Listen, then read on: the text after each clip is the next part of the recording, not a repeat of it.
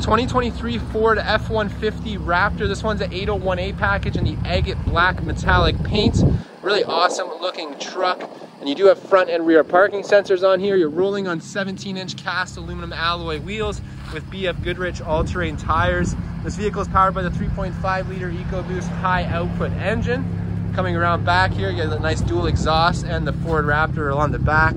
Your tow package, of course. This does have the tailgate and moonroof package, so you do get uh, the tailgate step with the work surface back here. Uh, you also have your Ford Tough Bed spray and bed liner, LED bed lighting, and your 400 watt outlet.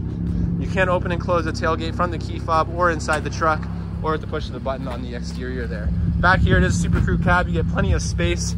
And if I fold these seats down, you can see it has a nice black leather interior, really comfortable seats throughout this truck. And has a nice bright twin panel moonroof, heated rear seats, plenty of power options, your own climate vents and cup holders. There's also cup holders that fold down from the center seat there.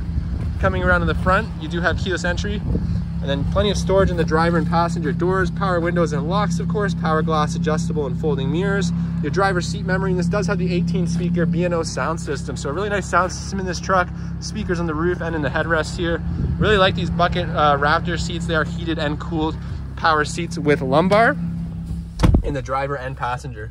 Uh, you do have a nice 12 inch customizable digital display right behind the steering wheel. Uh, steering wheel itself is super comfortable. You get these nice big paddle shifters on here, adaptive cruise control and your lane keeping. Uh, you can also like customize the steering, exhaust, and suspension on this truck. Uh, you do have a nice 12 inch center display here.